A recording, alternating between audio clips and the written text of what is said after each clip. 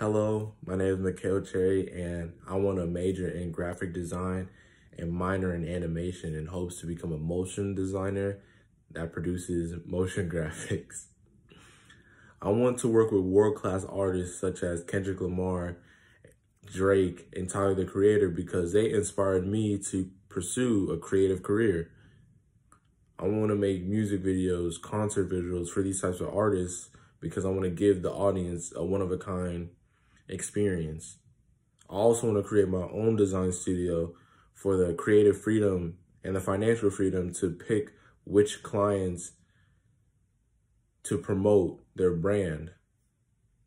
I also want to promote mental health as I had a friend who was going through problems with his parents and that led him down a spiral of depression and almost suicide. Based on the data, a lot of millions of males go through their daily lives without show, showing emotion or letting out what's troubling them. And that could lead to mental illness and even suicide. Thankfully, my friend told me, so I was able to support him. But based on the data, millions of males don't have that same type of support system. And I want to promote males showing emotion and proving that it's okay to not be okay with my art. So I just want to give males an escape and just let them know that it's okay to have issues.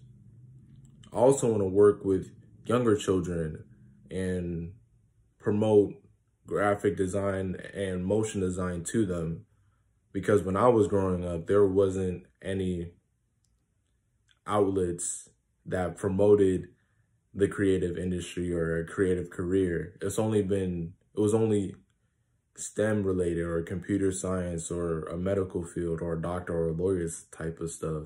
So I wasn't exposed to this type of pathway. I want to give students and younger children that type of experience that ensures that they know that a, pursuing a creative career is not going to end up to them being broke or a broke artist, as they say. That's it for my video. Thank you for watching and goodbye.